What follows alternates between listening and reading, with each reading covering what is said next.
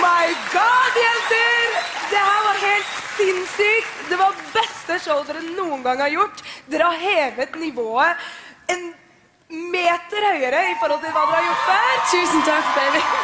Det helt sykt. Veldig bra. ass. Jeg må gi dere litt todelt, så jeg får begynne med det sure. Jeg synes at Dere sleit litt med sangen her og der i løpet av sangen. Men jeg er helt enig med Myra. Det er den beste dere har gjort til nå. Dere kledde det rockeuttrykket, og dere rocka scenen. Så summa summarum, det var bra. Nei, det er masse, si, det er masse staffasje. Det er fett å ha et liveband her ute. Det blir mye trøkk, det blir mye energi. Men dere for meg fremstår ikke troverdig når dere gjør en så fet rockelåt. Og jeg syns ikke dere synger det veldig bra heller. Sorry.